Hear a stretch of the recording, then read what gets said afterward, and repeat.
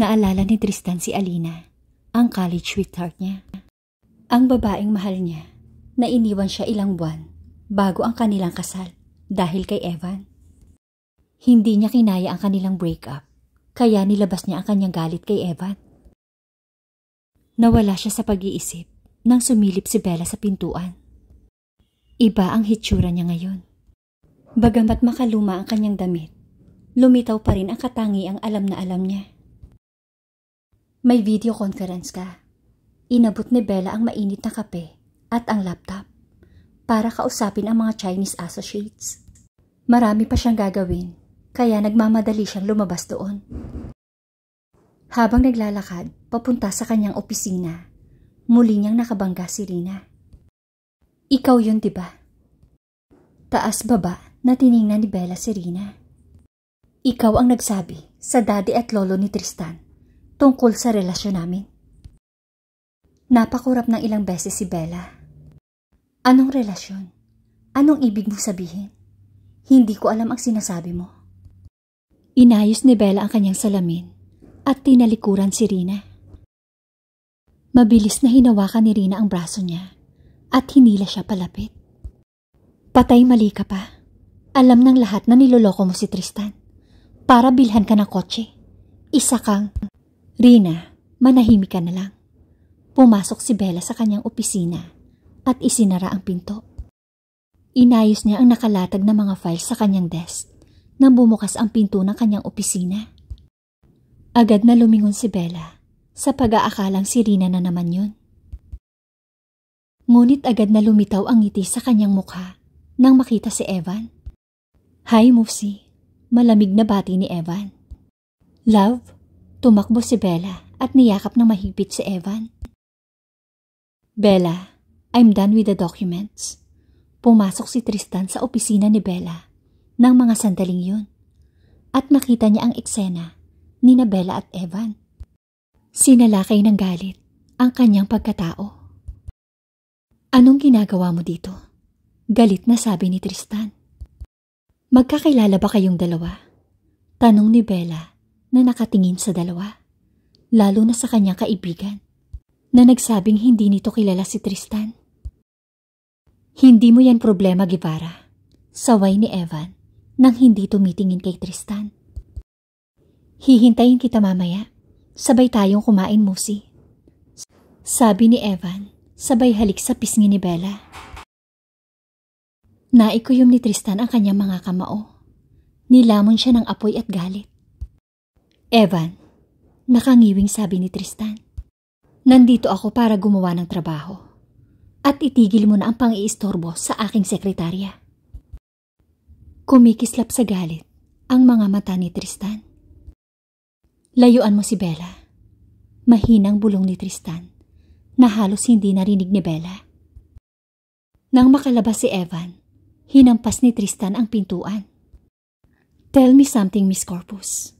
Sabi ni Tristan na halos nakadikit sa mga labi ni Bella. Nanginig si Bella.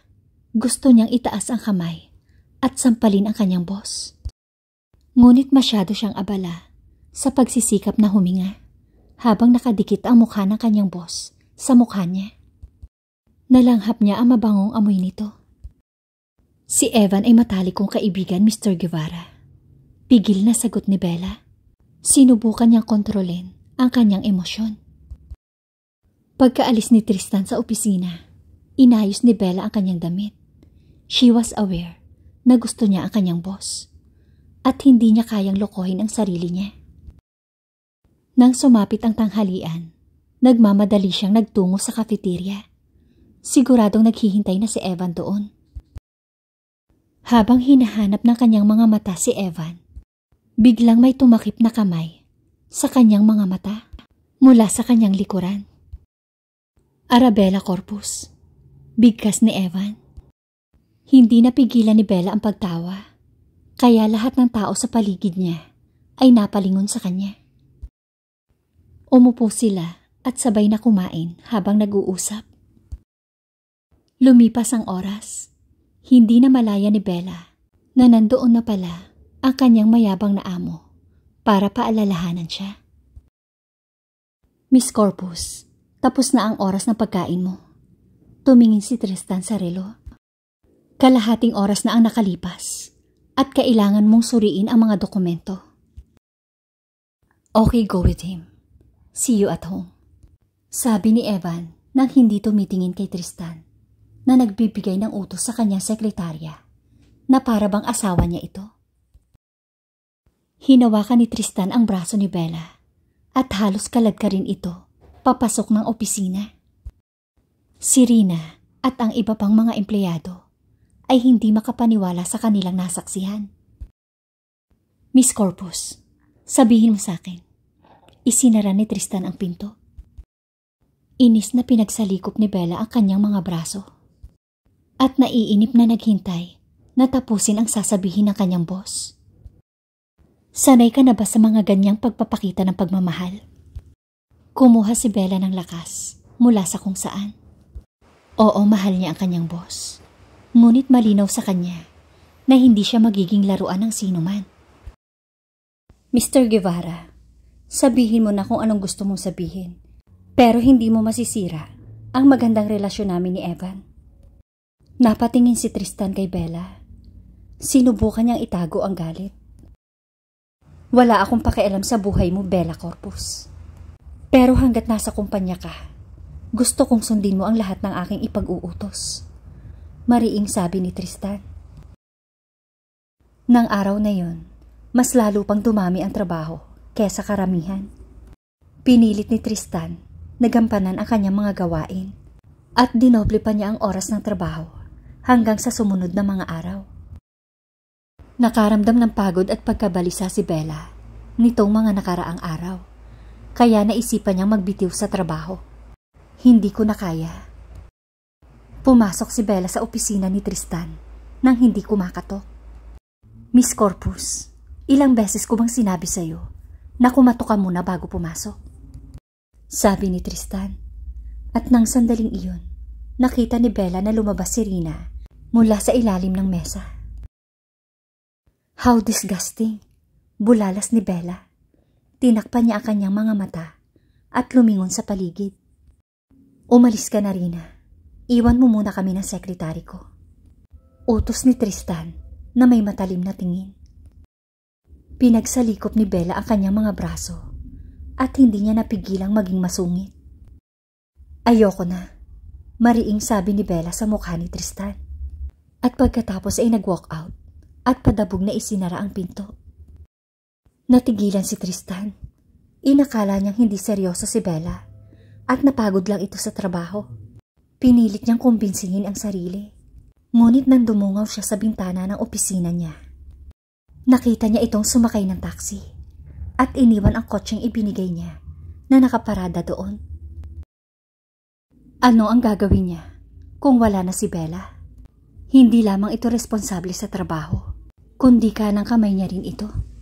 Hindi lang ito basta sekretarya. Nagpatupad din ito ng proyekto sa mga Chinese. Huminga ng malalim si Tristan. Well, it's her loss. Mayabang nasabi ni Tristan at tinungo ang departamento ng mga tauhan upang kumuha ng bagong sekretarya. Bagamat hiniling niya na sana ay magbago ang isip ni Bella at bumalik. Kinabukasan, meron ng listahan ng mga kandidato para sa posisyon ng executive secretary at sinimulan silang interviewin. Ang ilan ay masyadong masunurin, maganda, at ang ilan ay masyadong perpekto dahil wala sa kanila si Bella Corpus. It's too suggestive, hindi ba? Tanong ni Tristan kay Albert na nakangiti sa tabi niya. Kung wala kang nagustuhan sa kanila, kailan ka pa makakahanap ng matalinong sekretarya? Nakangiting sabi ni Albert. Saglit na nag-isip si Tristan. Hindi niya namalayan na hinahanap niya si Bella sa mga babaeng iyon. Kailangan kong humanap ng paraan para maibalik siya, naisip ni Tristan. Nang oras na yun, pumasok ang kanyang ama sa opisina. Albert, iwan mo muna kami. Sabi ni Ricardo bago tumingin sa anak. Mabuti pa, ibalik mo si Miss Corpus. Tristan Guevara, ipinapaalala ko sa iyo na hindi lang siya isang sekretarya. Siya rin ang susunod na engineer sa plantang ito. Kung hindi mo siya maibabalik sa kumpanyang ito, kalimutan mo na ang tungkol sa iyong mana. Determinadong sabi ni Ricardo. Napahawak si Tristan sa kanyang buhok dahil sa pagkadismaya. Umalis siya sa opisina at pinaandar ang kanyang sasakyan papunta sa apartment ni Bella. Ngunit tumigil ang kanyang mundo nang sabihin sa kanya ng kapitbahay na umalis si Bella na may dalang maleta. Sigurado ka ba may dala siyang maleta? Tanong ni Tristan sa batang lalaki na nakatira sa tapat ng apartment na tinitirhan ni Bella. Yes sir, sinabi ko na sa iyo hindi ba? Galit na sagot ng batang lalaki. Alam mo ba kung saan siya nagpunta? Muling tanong ni Tristan. Hindi po, sir. Sagot ng batang lalaki at iniwan siyang mag-isa. Saan kaya nagpunta si Bella? Hindi siya pwedeng umalis na lang at iwan siyang tambak ang trabaho. Bumalik siya sa kanyang sasakyan at tinawagan si Albert. Bro, alamin mo kung saan nakatira ang mga magulang ni Bella. Please. Ibinaba ni Tristan ang telepono at dumiretso sa mansyon. Padabog niyang isinara ang pinto. Nag-impake siya sa isang maliit na maleta. At nag-impake siya habang hinihintay ang mensahe ni Albert. Sa kabutihang palad, ibinigay sa kanya ni Albert ang buong address ni Bella sa Quezon sa loob lamang ng ilang minuto. Dumating siya sa lugar alas 6 ng gabi kasama ang kanyang bodyguard para puntahan ang kanyang pinakakatangi-tanging sekretarya. Pakiramdam ni Bella ay gumuho ang kanyang mundo. Hindi lang dahil mahal niya ang bagong trabaho. Malaki rin ang kanyang sweldo at nasasakop nito ang karamihan sa kanyang mga gastusin. Pero kailangan niyang aminin na may hindi tama sa kanya. Gabi-gabi, napapanaginipan niya si Tristan. Umiinit ang pisngi niya kapag nakikita niya ito. At ang galit ay pumapaibabaw sa kanya sa tuwing nakikita niya kasama nito si Rina. Pumunta siya sa Human Resources at ibinigay ang kanyang resignation letter. Ipinaalam sa kanya na sa sandaling pumirma si Tristan ay makakatanggap siya ng tseke. Ngunit hindi niya ginawang maghintay ng pera at umalis agad siya sa kumpanya. Pumatak ang luha sa kanyang pisngi. Dalawang buwan na siyang namumuhay sa kabila ng maraming karanasan at damdamin. Ngunit pagod na siya. Ang kanyang katawan ay hindi na lumalaban sa tuksong mahulog sa mga bisig ng kanyang mayabang na amo. Kinagabihan, masayang nag-usap at nagkwentuhan ang buong pamilya habang kumakain kasama si Bella. Matagal-tagal din na hindi nakauwi si Bella sa probinsya at sobra niyang namiss ang kanyang mga magulang at kapatid. Habang masayang nag-uusap ang pamilya, Bigla silang nakarinig ng mahina, ngunit sunod-sunod na mga katok mula sa pinto. Mabilis na tumayo ang nanay ni Bella upang buksan ang pinto. Nandito ba si Miss Corpus? Tanong ni Tristan. Biglang nakaramdam ng kaba si Bella nang marinig ang boses. Anak, may naghahanap sa iyong dalawang lalaki. Sabi ng kanyang ina. Pasensya na kung naistorbo ko ang inyong hapunan. Medyo nahihiyang sabi ni Tristan. Anong ginagawa mo dito, Mr. Guevara? Hindi makapaniwalang tanong ni Bella. Huminga ng malalim si Tristan at sinubukang pigilan ang pananabik nang muling makita si Bella. Bella, kailangan mong bumalik sa trabaho. Pumunta ka dito para sabihin sa akin yan. Hindi ako makapaniwala na ang isang arugante at pinakatanyag na CEO sa bansa ay nagtyagang maghanap sa kanyang sekretarya para bumalik sa trabaho. Please, Miss Corpus, kailangan kita. Bulong ni Tristan. Anong sabi mo? Hindi kita marinig. Sabi ni Bella, kahit narinig niya ito ng maliwanag. Kailangan kita sa kumpanya. Malakas na sabi ni Tristan. Let me think about it. Inilagay ni Bella ang hintuturo sa pisngi na tila nag-iisip. For God's sake, Bella, ano pa bang gusto mong gawin ko? Muling sabi ni Tristan na diretsyong nakatingin kay Bella. Kinuha ni Bella ang pagkakataong maghiganti sa labis na trabahong ibinigay sa kanya ni Tristan. Relax ka lang, sir. Kailangan kong mag-isip ng mabuti kung gusto kong magtrabaho ng 16 hours a day. At kung kaya kong makita kang nakikipagtalik sa isang receptionist sa opisina araw-araw. Ang sinabing iyon ni Bella ang dahilan ng pagkawala ni Tristan dahil sa bahagyang tawanan mula sa hapagkainan. I promise, hindi na kita bibigyan ng sobrang oras sa trabaho at wala nang mangyayaring sex sa opisina. Nagseselos ka ba, Bella? Ganting sabi ni Tristan habang nakangiti. Mr. Guevara, humalukip-kip si Bella. Kahit may gusto siya sa kanyang amo, kailangan niyang maging magaspang dito. Kinagat niya ang kanyang labi upang kontrolin ang kanyang damdamin. Nangangako ako na wala nang magaganap na seks sa opisina. Muling sabi ni Tristan nang hindi inaalis ang tingin sa nakakaakit na labi ng kanyang sekretarya. Pag-iisipan ko pa rin. Bibigyan kita ng sagot bukas. Humihingi akong muli ng paumanhin sa pagkagambala ng inyong hapunan. Sabi ni Tristan na nakatingin sa lahat ng nasa hapagkainan na nag-uusap pa rin sa isa't isa. Bella, pag-isipan mong mabuti. Kung oo ang sagot mo, susunduin kita bukas ng umaga. Nakangiting tumango si Bella bilang pagsang-ayon. Nag-stay si Tristan sa isang hotel. Pagkapasok sa silid, agad niyang tinanggal ang damit na may ngiti sa labi. Hindi niya makalimutan ang nakakaakit na labi ni Bella. Ang kanyang pagkatao. Lahat ng tungkol dito ay tumatak sa kanyang isipan. Ipinilig niya ang ulo habang pumapasok sa banyo. Tristan, baka nakakalimutan mo ang pangako mong hindi ka na magmamahal at paglalaruan na lang ang lahat ng mga babae. Hinding-hindi ka na ulit masasaktan tulad ng ginawa sa iyo ni Alina.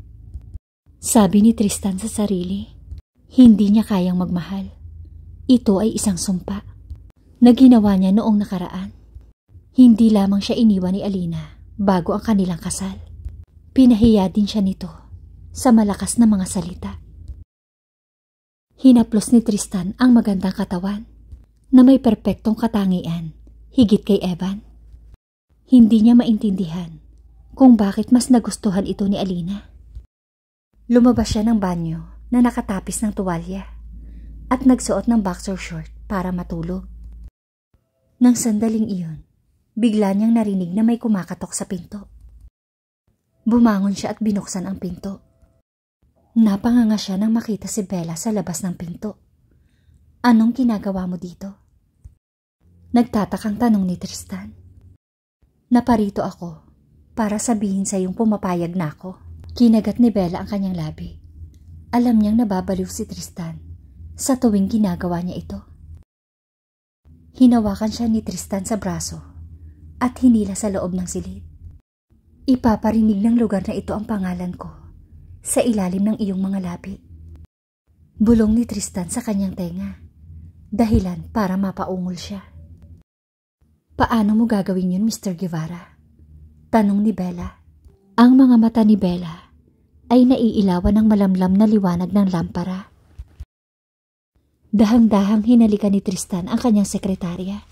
Kasabay noon, nagsimulang magring ang kanyang cellphone. Napabuntong hininga siya. Isa na namang panaginip tungkol kay Bella. Bumangon siya at naligo para pumunta sa bahay ni Bella pagkatapos mag-almusal. Kailangan mong itigil ang pag-iisip ng ganito tungkol sa kanya. Pinagalitan niya ang kanyang sarili. Hindi pa siya nagkakaroon ng ganoong panaginip tungkol sa isang babae. Nahuhumaling na ba siya kay Bella?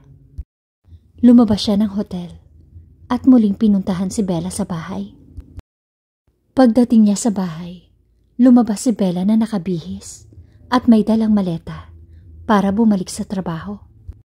Mr. Guevara, ipinapaalala ko sa iyo na ikaw ang may gusto na bumalik ako. Napangiti si Tristan nang marinig ang sinabi ni Bella. Namiss kita. Ngumiti lang si Bella bilang tugon at muling pumasok sa loob ng bahay para magpaalam sa kanyang mga magulang. Nalungkot ang tatay ni Bella. Akala nila ay makakasama nila si Bella sa konting panahon. Ngunit naiintindihan nila na hindi na bata si Bella. Muling sumilip si Bella sa pinto na may malungkot na ekspresyon. May problema ba? Tanong ni Tristan. Gusto kang makausap ni tatay? Mahinang sabi ni Bella nang hindi tumitingin sa mga mata ni Tristan. Hindi nakaimik si Tristan. Nagtaka siya kung bakit gusto siya nitong makausap. Tumingin siya kay Bella at pumasok sa bahay. Makalipas ang ilang minuto, lumabas si Tristan na nakangiti. I'm sure of that too, Mr. Guillermo. Don't worry, sir. Napabuka ang bibig ni Bella nang marinig ang sinabi ni Tristan sa kanyang ama bago sumakay sa van. Bella, kailangan nating maglakbay bukas. Kailangan din nating lumikha ng isang bagong proyekto. Mr. Guevara, lumingon si Bella kay Tristan. Napakalapit niya.